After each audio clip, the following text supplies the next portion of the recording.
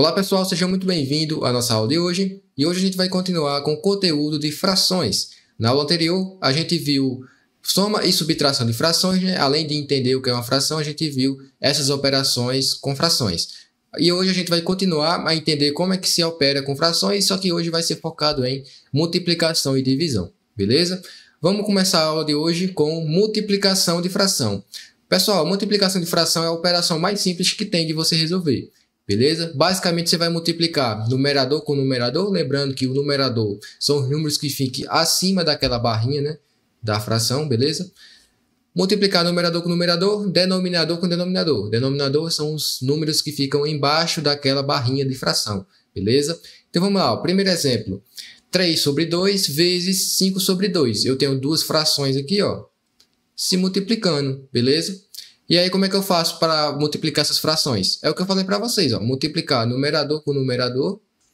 3 vezes 5 é 15, beleza? E denominador com denominador, ó. 2 vezes 2, 4. Então, quer dizer que 3 sobre 2 vezes 5 sobre 2 é 15 sobre 4, beleza? Basicamente é isso, pessoal. Não tem muito segredo. Vamos para o segundo exemplo, ó. 2 sobre 4 vezes 2 sobre 6. Multiplica numerador com numerador denominador com denominador.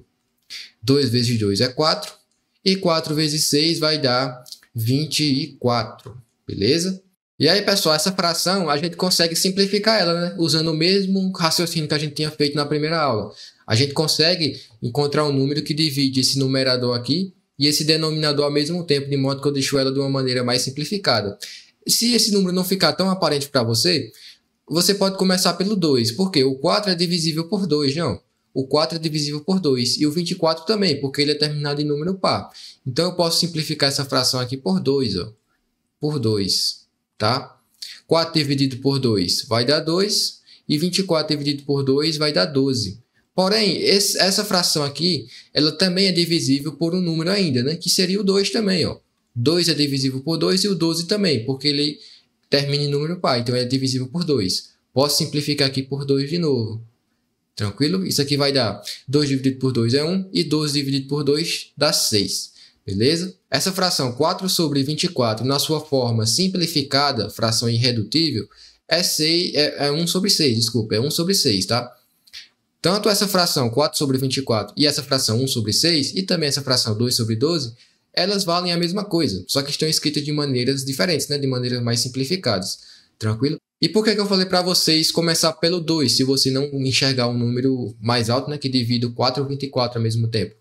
Porque você poderia simplificar por 4 aqui, ó, direto. Ó. 4 é divisível por 4, não. 4 é divisível por 4. O 24 também é divisível por 4. 4 dividido por 4 1. 24 dividido por 4 dá 6. Já chegaria na forma irredutível aqui de cara. Porém, vai que eu não sei que esse 24 aqui, por exemplo, ele é divisível por 4. Você pode começar simplificando por 2, tá? E aí você chega na outra fração. Se essa fração for divisível por 2 de novo, você simplifica mais, igual a gente fez, beleza? E lembrando que não precisa só ser 2 e 4 não, tá, pessoal? Pode ser qualquer número. Por exemplo, você poderia ter uma fração que pode ser simplificada por 9 no numerador e no denominador. Você poderia sim simplificar por 9 essa fração. Por exemplo, 9 sobre 18, tá? Posso simplificar aqui o numerador ó, por 9, denominador por 9, né? Isso aqui vai ser igual, 9 dividido por 9 é 1, 18 dividido por 9 é 2, beleza? É 2. Ou se você quisesse fazer passo a passo, se você não soubesse que esse 18 é divisível por 9, né? Você poderia simplificar com números menores, né? Por exemplo, 3, ó, 9 dividido por 18. Você poderia simplificar por 3 aqui, ó, por 3 aqui embaixo também. 9 dividido por 3 dá 3. 18 dividido por 3 vai dar 6, né? E aí você simplificaria por 3 de novo, ó. Por 3 e por 3. 3 dividido por 3 dá 1. 6 dividido por 3 dá 2. Chegaria no mesmo resultado, tá? Eu dei esse exemplo para você perceber também que funciona também para números ímpares, tá? Não só apenas para números pares. De modo que você divida sempre o numerador e o denominador pelo mesmo número. Vamos continuar? Terceiro exemplo. 5 vezes 5 sobre 3. Pessoal, não está aparecendo o denominador aqui nesse 5, né? Mas a gente sabe que quando não aparece denominador, é porque esse número aqui, ele é a mesma coisa que o próprio número dividido por 1, né? Ele é um número inteiro nesse caso, né? O 5 é um número inteiro. Tá? Qualquer número dividido por 1 é ele mesmo. Se a fração significa uma divisão, então posso colocar 5 como sendo 5 dividido por 1. Beleza? Então vamos lá, agora a gente multiplica numerador com numerador, denominador com denominador. 5 vezes 5, 25. 1 vezes 3 dá 3, beleza? Bem simples mesmo a multiplicação de frações. Vou colocar mais um exemplo aqui, ó. E se os números das frações, um dos números das frações fossem negativos? O que, é que eu faria? Eu vou colocar aqui, ó, menos 2 sobre 5 vezes 3 sobre 2, beleza? Vou fazer assim. Pessoal, quando os números são negativos, você vai aplicar a regra de sinal da multiplicação, quando se for multiplicar as, as frações. Ó. Vou multiplicar aqui, ó, numerador com numerador. Menos 2 vezes 3. Menos por mais na multiplicação vai dar menos, né? Então, menos 2 vezes 3 vai dar menos 6, né? E aí ó, você multiplica denominador com denominador normalmente, tá? Se tiver sinais, né, sinal de menos, você faz relação de sinal. 5 vezes 2, 10. Posso simplificar essa fração aqui? Posso. Posso simplificar por 2. Posso simplificar essa fração aqui por 2. Por 2 e por 2. Isso aqui vai ser igual. Menos 6 dividido por 2 vai dar menos 3. E 10 dividido por 2 dá 5. Beleza? Isso daqui é essa fração é, simplificada. Não tem como eu simplificar mais ela. Eu não consigo encontrar um número que divide menos 3 e 5 ao mesmo tempo, de modo que essa fração ela se simbolize, ela fique escrita de uma maneira mais simples com números menores. Né? Não tem como. Tranquilo? Por que, que eu estou mostrando para vocês também esse processo de simplificação aqui? Estou reforçando esse processo de simplificação. Porque nas questões do IF, nas alternativas, quando se resolve uma, uma questão, né, as frações ela vêm de maneira simplificada, beleza? Então poderia ser que você resolvesse uma questão, por exemplo, do IF, e você chegasse nesse resultado aqui, ó, menos 6 sobre 10. Mas nas alternativas das questões não tem essa fração para você marcar lá, marcar lá, né?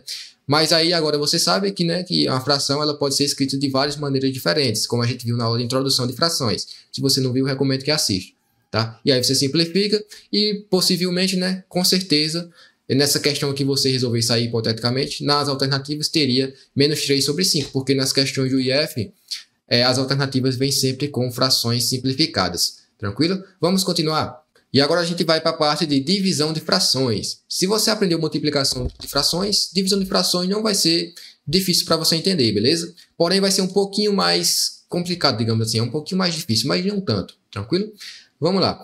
Só que antes de iniciar o conteúdo de divisão de frações, eu tenho que fazer pra, com você aqui um resumo, digamos assim, de algumas coisas elementares aí da matemática. Tranquilo? Porque eu vou te mostrar como é que divide fração, mas o meu objetivo aqui não é que você decore o processo de dividir frações. Eu quero que você entenda o porquê que você divide frações daquela maneira. Tranquilo? Você vai ver que é um processo um pouco mecanizado, mas que tem um significado por trás. Tá? Então vamos lá. Primeiro detalhe é que você entenda o que seria o inverso de um número. Tranquilo? Vamos lá. Digamos que eu tenho um número 3, 3 sobre 2 colocar maior aqui, né? Ó, 3 sobre 2. O inverso de um número, de, do caso aqui de 3 sobre 2, vai ser o número que multiplicado. O número que eu multiplico por 3 sobre 2, que isso daí vai ser igual ao elemento neutro da multiplicação ou da divisão, né? Que é o mesmo. Tá um pouco em grego aqui, né? Que eu falei, mas é, é tipo assim, ó. Vai ser o número que eu multiplico aqui, ó, por 3 sobre 2, que vai dar o elemento neutro aqui da multiplicação ou divisão, que é 1. Por que o elemento neutro da multiplicação e divisão é 1? Porque se você multiplica qualquer número por 1, por exemplo, 5 vezes 1, isso aqui vai dar o próprio número, 5. Beleza? Ou se você divide qualquer número por 1, por exemplo, 50 dividido por 1, é igual a 50, né, pessoal? Ou seja, o nome elemento neutro já é bem sugestivo, né? É uma coisa que não vai mudar. Não vai mudar se você multiplicar por ele ou dividir por ele. Por exemplo, 5 vezes 1 dá 5. 50 dividido por 1 dá 50, né? Dá o próprio número. Por exemplo, também, ó, menos 3 dividido por 1. Isso aqui dá menos 3. Menos 50 vezes 1. Isso aqui dá menos 50. Beleza? E o inverso de 3 sobre 2, né, pessoal? Que a gente quer encontrar é um número que multiplicado aí por 3 sobre 2, né? Esse resultado vai ser igual a 1. Vai ser igual ao elemento neutro. E o inverso vai ser você literalmente trocar numerador com denominador e denominador com numerador, né? O inverso de 3 sobre 2 nada mais é do que 2 sobre 3. Porque quando você multiplica, ó, Vou até colocar esse 1 aqui mais para a direita. Porque quando você multiplica aqui, ó, numerador com numerador, 3 vezes 2, 6. 2 vezes 3, 2 vezes 3, 6. 6 dividido por 6 é 1. Ou seja, o inverso de 3 sobre 2 é 2 sobre 3, porque quando multiplicado né, um número pelo seu inverso, vai dar igual ao elemento neutro, que é 1. Na multiplicação ou divisão, o elemento neutro é 1, como a gente viu. Tranquilo? E agora eu pergunto para vocês, quem seria o inverso, o inverso de 3 sobre 10? O inverso de 3 sobre 10 é 10 sobre 3, porque quando eu multiplico aqui 3 vezes 10 e 10 vezes 3, esse resultado aqui vai dar 30 sobre 30, que dá igual a 1, que é o elemento neutro. Então, o inverso de uma fração é você trocar o numerador com o denominador e denominador com numerador, beleza? E se eu pergunto para vocês que é o inverso de um número inteiro, por exemplo, 5. Que é o inverso de 5? Qual o número que multiplicado por 5 que vai dar igual a 1, que é o elemento neutro? Pessoal, 5 é a mesma coisa que 5 sobre 1, como a gente já sabe, né? Então, o inverso de 5 é 1 sobre 5. Porque quando eu multiplico aqui, vai dar 5 dividido por 5, que dá 1, beleza? Então, o elemento de um número é, inteiro, você pode escrever o número inteiro como sendo o número dividido por 1, né? Por exemplo, 30 dividido por 1, vai ser você inverter aqui, né? Vai dar 1 sobre 30, beleza? Então fica aí mais uma coisa aí que vocês podem anotar, beleza? O inverso de um número inteiro é 1 sobre esse número inteiro. E com base nisso, né, você entender o que é o inverso de um número e você saber que qualquer número dividido por 1 é igual ao próprio número, a gente consegue entender o processo de divisão de frações. Beleza? Vamos continuar aqui. Vamos pegar exemplos aqui para a gente aplicar essa divisão de frações. Beleza? Vou aumentar aqui um pouco mais. Vamos lá.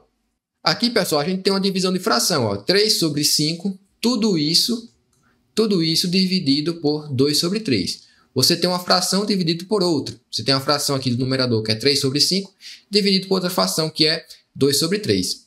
Aqui, pessoal, o meu objetivo é que apareça o número 1 aqui nesse denominador, né?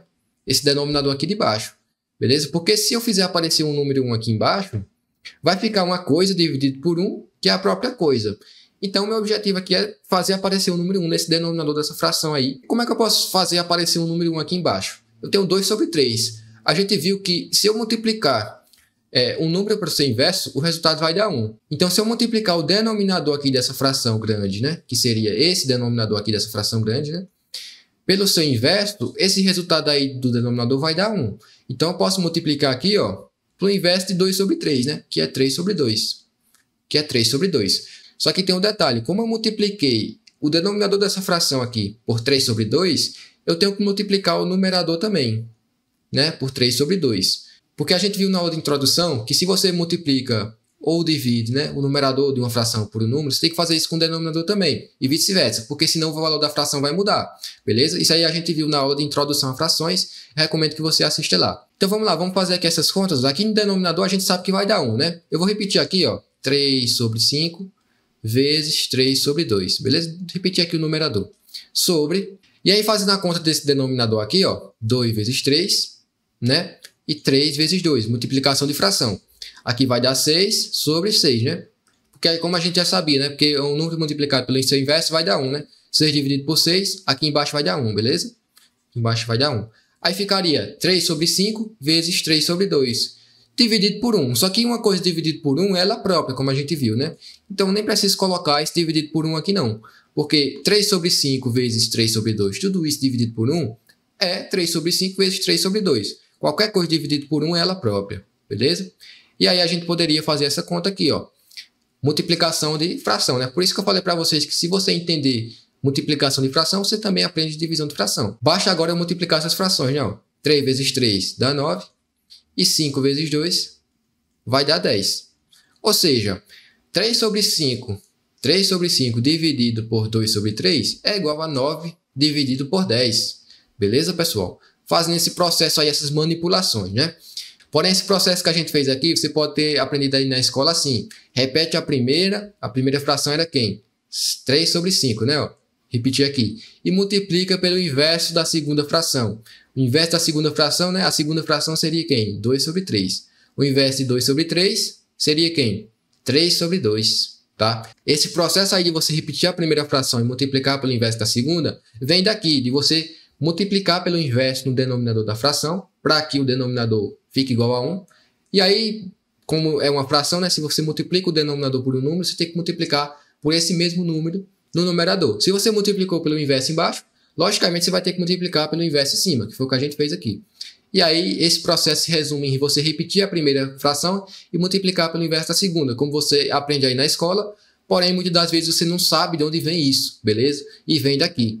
Vamos lá, vamos pegar mais um exemplo aqui. Esse segundo exemplo eu vou resolver da mesma maneira, tá? Só para você entender melhor o processo que a gente fez.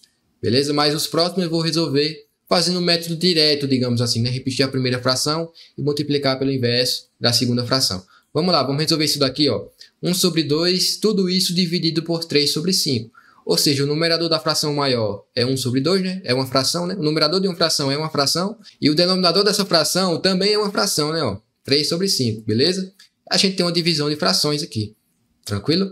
Então vamos lá. Meu objetivo é transformar esse denominador aqui da fração maior, que seria toda essa fração aqui de fora, digamos assim, de fora, que abrange aí o numerador sendo uma fração, o denominador também sendo uma fração, ele sendo igual a 1. Quero que aqui embaixo apareça o número 1. O que, que eu faço? Eu posso multiplicar pelo inverso, né? Ó.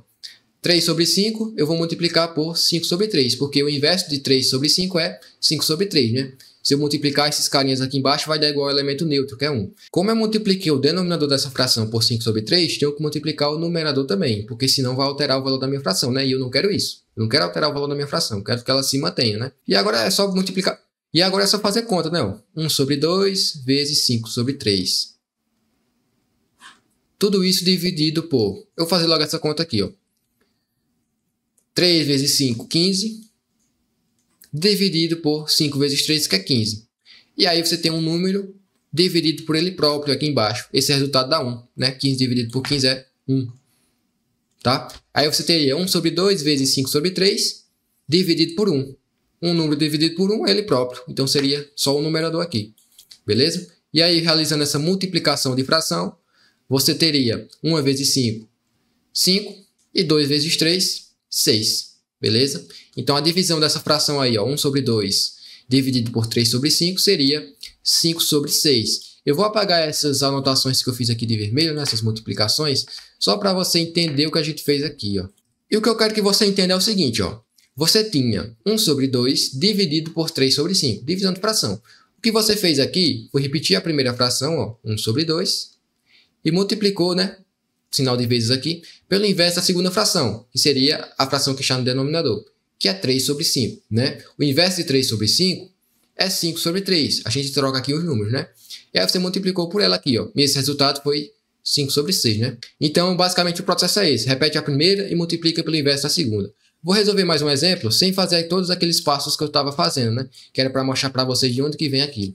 Beleza, como é que eu divido 5 sobre 3 dividido por 3 sobre 2, sem fazer todo aquele processo. Na verdade, você está fazendo todo aquele processo, só que está de maneira oculta, digamos assim, né? Quando você repete a primeira e multiplica pelo inverso da segunda, na verdade você está fazendo aquilo lá que a gente estava fazendo no início, né? De multiplicar pelo inverso do denominador, e aí eu tenho que multiplicar o numerador também, e aí o denominador dá igual a 1, enfim, né? É o mesmo processo, só que de maneira oculta, digamos assim.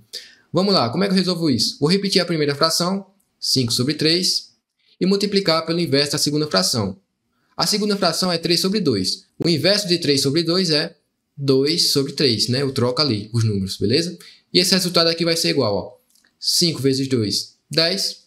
E 3 vezes 3, 9. Tá aí, ó, de maneira bem simples, divisão de frações. Aí você poderia me perguntar, ah, e se tivesse um número inteiro, por exemplo, 10, dividido por uma fração? 3 sobre 2, por exemplo, né? Um exemplo aqui. Como é que eu faria? basicamente você vai fazer tudo que a gente estava fazendo antes, né? Esse 10, ele é a mesma coisa que 10 dividido por 1, né? 10 sobre 1. Então eu posso escrever esse 10 como sendo 10 dividido por 1, tá? E aí eu vou fazer a mesma coisa, ó. repetir a primeira fração, que é 10 sobre 1, e vou multiplicar pelo inverso da segunda fração, né? Segunda fração é 3 sobre 2. O inverso de 3 sobre 2 é 2 sobre 3. Eu troco aí os números, beleza? E aí, ó, 10 vezes 2 vai dar 20. E 1 vezes 3 vai dar 3. Tranquilo? E outro exemplo que eu poderia mostrar para vocês é uma fração dividida por um número inteiro. Por exemplo, 3 sobre 5 dividido por 4. Um exemplo aqui, né? Você tem uma fração, 3 sobre 5, dividido por um número inteiro, né? Que é 4. Como é que eu faço isso daqui? Mesmo processo, pessoal. Um número dividido por 1, ele próprio. Então, esse 4 aqui, eu posso escrever ele como sendo 4 sobre 1 tá? Aí eu faço a mesma coisa, vou repetir a primeira fração, 3 sobre 5, e multiplicar pelo inverso da segunda fração, né? A segunda fração é 4 sobre 1, o inverso de 4 sobre 1 é 1 sobre 4. E aí você faz aqui a multiplicação de frações, ó. 3 vezes 1 é 3, 5 vezes 4 é 20. Beleza? Tá aí resolvido também essa divisão de frações. Mais um exemplo para vocês aqui, ó. Exemplo 4. Você tem 5 sobre 3, tudo isso dividido por 2. Ou seja, você tem uma fração dividido por um número inteiro. Esse número inteiro aqui que está embaixo, que é o 2, você pode escrever ele como sendo 2 dividido por 1. É a mesma coisa. Para repetir a primeira fração, 5 sobre 3, e multiplicar pelo inverso da segunda. O inverso de 2 sobre 1 é 1 sobre 2. Beleza? Isso aqui vai ser igual. 5 vezes 1 é 5 e 2 vezes 3 é 6. Tá aí resolvido também. Tranquilo? Então é isso, pessoal. Essa foi a aula de hoje. A gente entendeu aqui, né, como é que faz a multiplicação de fração, que é bem simples, né? Você vai multiplicar numerador com numerador, denominador com denominador. É simples, mas é de grande valia, porque para dividir frações, você vai ter que saber, né, multiplicar frações. Beleza? E a gente entendeu também de onde que vem aquele processo que a gente aprende na escola de dividir frações, que é repetir a primeira fração e multiplicar pelo inverso da segunda fração. Né? Esse processo aí vem de todo esse processo aqui matemático, tem toda uma explicação né, que você usa aí de número inverso, de que um número é dividido por um é ele próprio, e a gente consegue montar esse raciocínio de por que, que você repete a primeira fração e multiplica pelo inverso da segunda. Então, basicamente, o conteúdo de frações é isso daqui, tá? Você vai ter algumas variações, claro, números diferentes, os sinais que você vai ter que mexer, mas é basicamente isso daqui e também o do primeiro vídeo, né, que eu mostrei para vocês. Eu tenho certeza que você vai conseguir resolver qualquer problema que envolve frações com essas aulas aqui, beleza? Então é isso, espero que vocês tenham gostado e até mais.